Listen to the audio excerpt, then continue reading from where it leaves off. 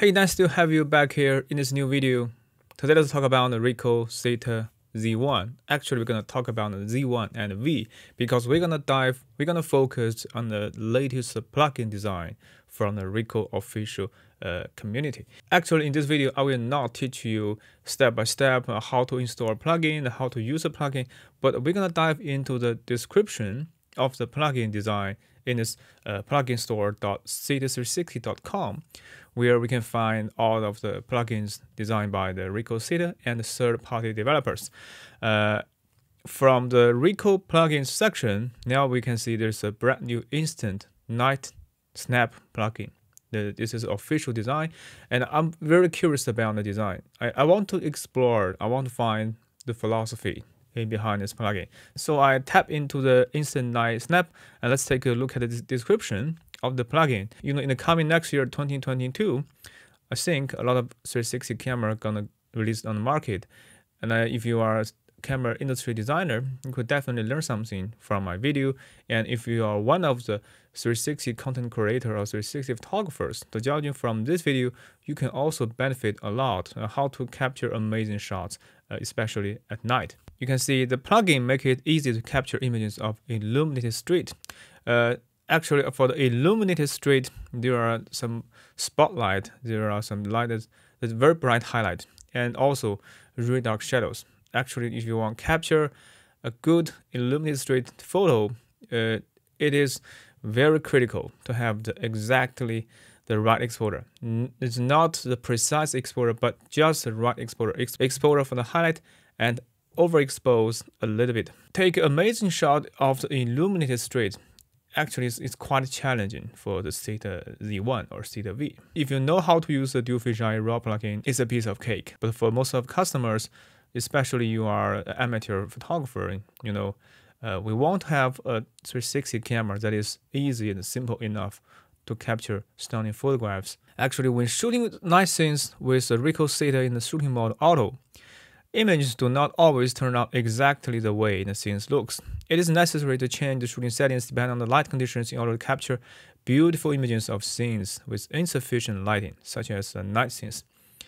The Instant Night Snap plugin configure in optimal shooting settings for night scenes so that you can easily capture images of illuminated streets.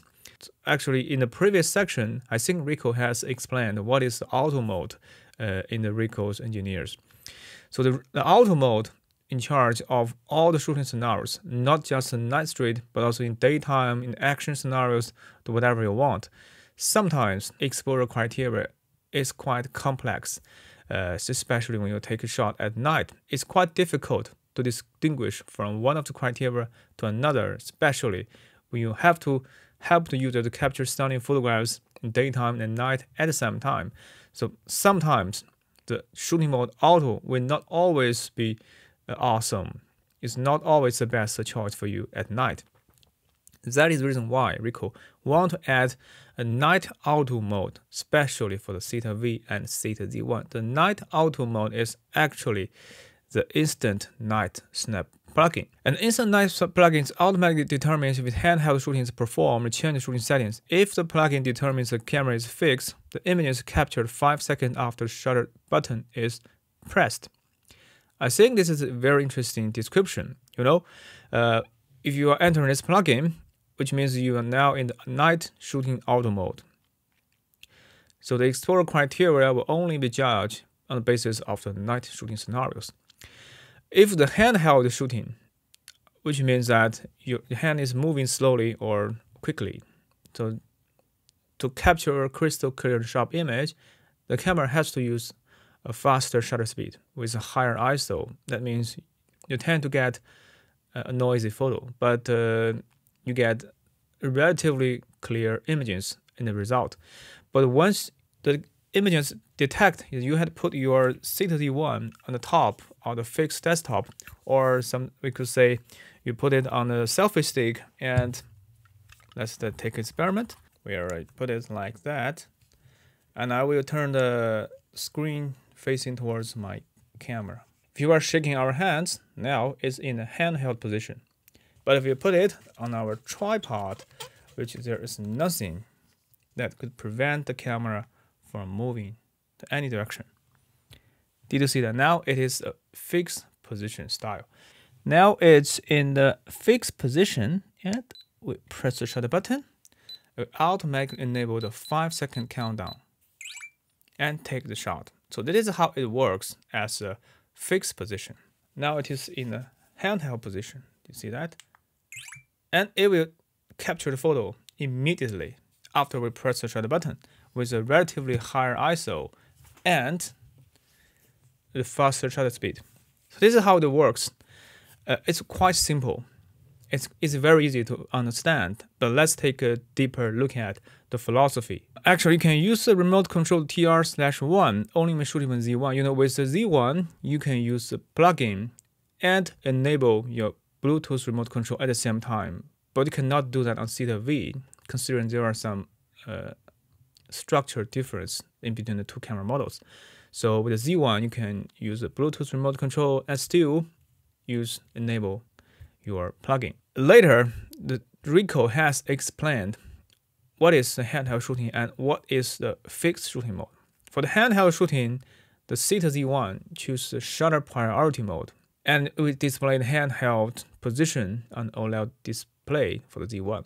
So with the shutter priority mode, the faster shutter speed regardless of the ISO to maintain the faster shutter speed to relatively help you capture a clear image of everything around you and immediately after you press the shutter button. And for the fixed shooting mode, the ISO priority mode is used when, when you press the shutter button.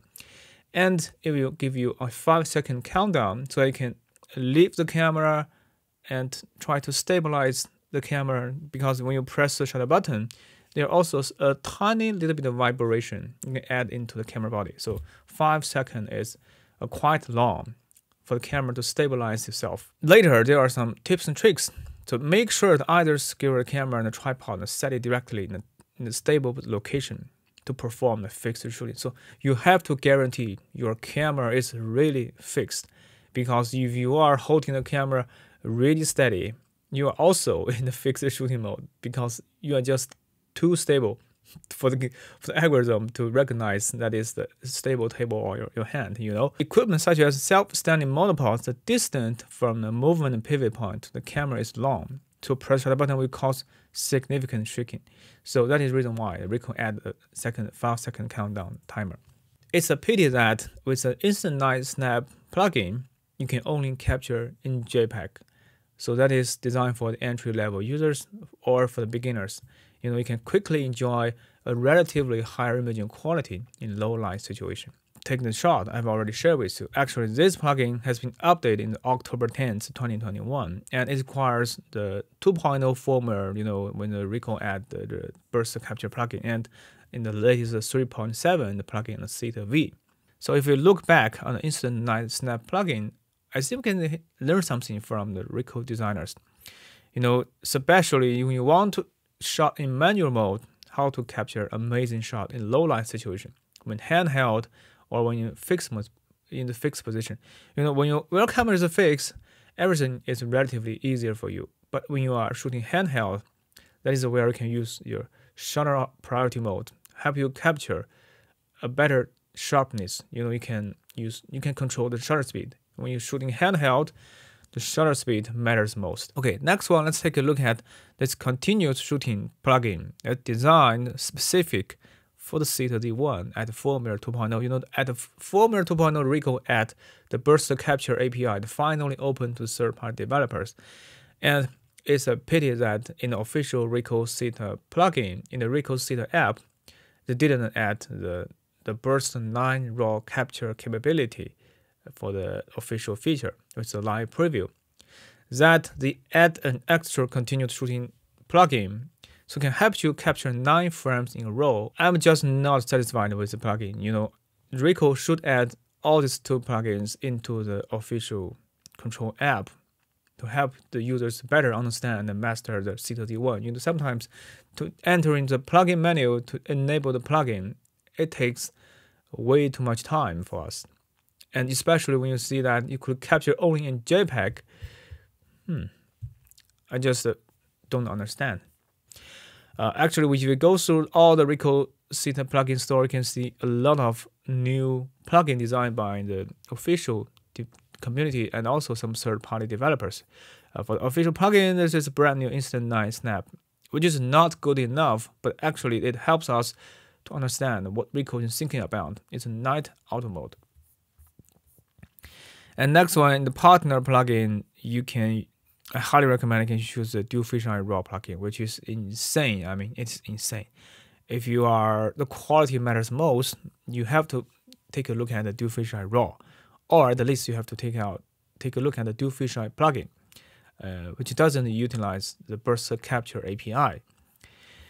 And there are also some other great design. You can see there's a brand new, there's a Theta live streaming, and there's a summit audience.